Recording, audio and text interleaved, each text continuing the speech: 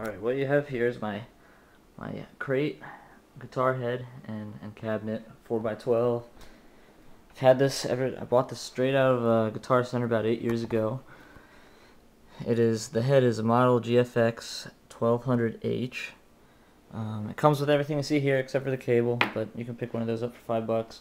Only wear and tear on it is the, the stickers really they have on there, and uh, just this little dent, but uh, that doesn't that doesn't really affect the sound. Works perfectly. Kind of sad to sell it, but uh, that's about it.